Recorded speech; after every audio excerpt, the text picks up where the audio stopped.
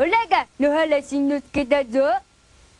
さすが本物。でも初めはこうじゃなかったんですよね。喋り方としてはあの子供さんが話す喋り方をそのままやろうと思ったんですね。当時はもっと高めで素直な感じの喋り方で。でそれがどうして変わっちゃったのかは私もわからないんですがあのずっと見ていただくと絵の方もアニメの絵の方もだんだん変わってきてるんですね。それを見てやってるうちにだんだん自分も変わっていったんじゃないかな。嘘。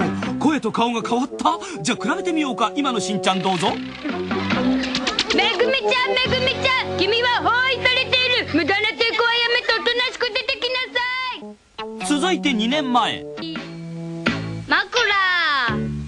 前ってふかふかしてうまそうだな。